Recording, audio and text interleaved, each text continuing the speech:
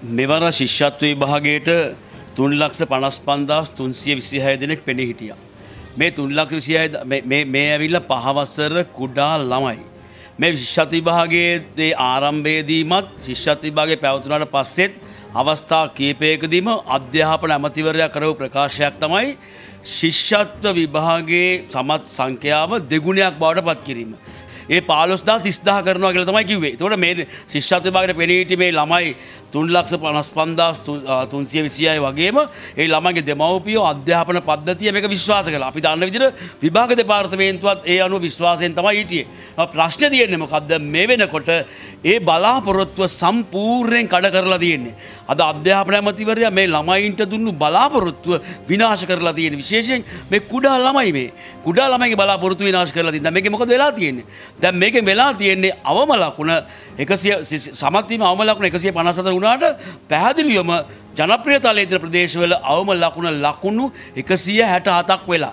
සාමාන්‍යෙන් උසස් වෙල විභාගේ සමත් ලකුණ අපි දන ලකුණු හැත්ත පාට වැඩියෙන් ගත්තු තේල ඒ උසස් වෙල විභාගේ ළම ළමයකුට ඒ සමාර්ථයක් දෙනවා. දැ මෙතන මොකද වෙලා තියෙන්නේ. ලකුණු එකසිය හැට හතක් ගත්තත් අසමත්.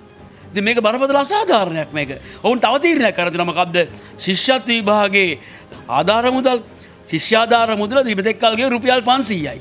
අපි දිගින් දිගටමක රුපියල් පන්සියකින් ශිෂ්‍යාධාරයකින් කොමද ජීවත්වෙන්නේ ද රුපියල් පන්සියක් ඇත්ද මේකට. ඉතින් මේ ශිෂ්‍යාධාර මුදල අඩුගාන රුපියල් පන්දා දක්වාවත් වැඩි කරන්න ඕනේ. ඒම තියෙද්දී ශිෂ්‍යාධාර මුදල් වැඩිකරන්න අමාත්‍ය වල තිරණය කරන්න කියද තව රුපියල් දෙසිය පනාකින්.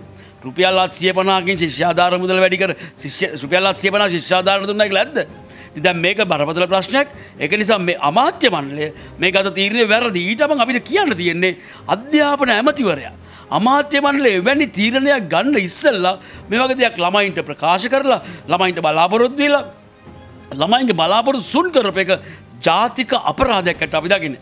ලකුණු එකසි අටක් අවම ලකුණ කරාට පස්සේ ළමයි බරපතල ප්‍රමාණයක් අසමත් කියන චින්තනයක් රටේ තියෙන්නේ. අද ළමයි අඬා වැටෙනවා. ළමයි තමන් තම මේ තරම් විශාල ලකුණක් කරගෙනත් අපි සමත් නෑනේ කියලා. ප්‍රතිඵල නිකුත් කිරීම පිළිබඳවත් නැවත සිතා බැලිය යුතුයි. මොකද ළමයින්ගේ මානසික තත්ත්වය වැඩියම සලකා බලන්න ඕනේ. මොකද